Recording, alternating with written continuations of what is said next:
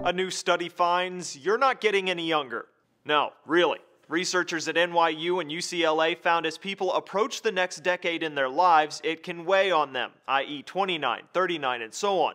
They found data to suggest when people hit that big X9 right before they tick over into a new decade of life, they engage in little existential crises and search for more meaning in their lives. Because life transitions tend to prompt changes in evaluation of the self, people are more apt to evaluate their lives as a chronological decade ends than they are at other times. One of the study's authors told the Washington Post there's something psychological to those particular birthdays.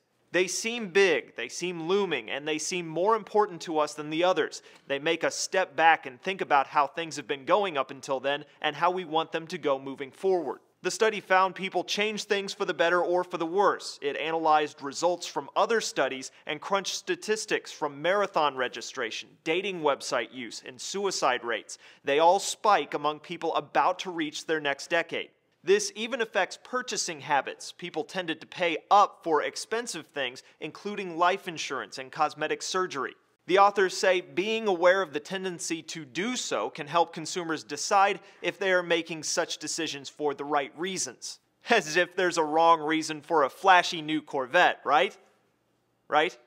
The full text of the study is published in the Proceedings of the National Academy of Sciences. For Newsy, I'm Cliff Judy.